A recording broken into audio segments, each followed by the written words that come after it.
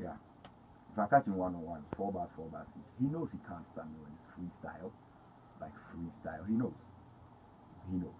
I know he's a freestyle artist too.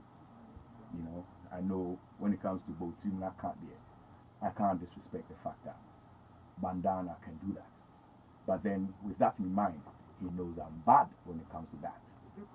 So, that one there, he needs big money, big, big, big, big um, investment behind it. So, we showcase that thing once and for all to Ghana and the rest of the world so they know that um, if you just talk, we eat talk. We, Yeah,